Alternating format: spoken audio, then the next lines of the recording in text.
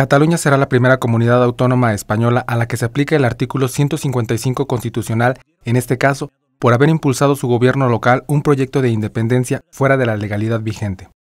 El presidente del gobierno español, Mariano Rajoy, confirmó este jueves al jefe de gobierno catalán, Carles Puigdemont, la solicitud de la medida al Senado una vez constatado que no se rectifica ante la declaración de independencia anunciada el 10 de octubre.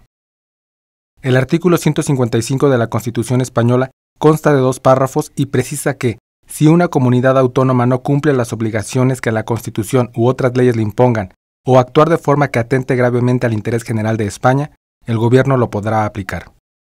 El segundo párrafo establece que, para la ejecución de las medidas previstas en el apartado anterior, el gobierno podrá dar instrucciones a todas las autoridades de las comunidades autónomas. El Consejo de Ministros se reunirá de forma extraordinaria este sábado para aprobar las medidas que se elevarán al Senado a fin de proteger el interés general de los españoles, entre ellos los ciudadanos de Cataluña, y restaurar el orden constitucional en la comunidad autónoma.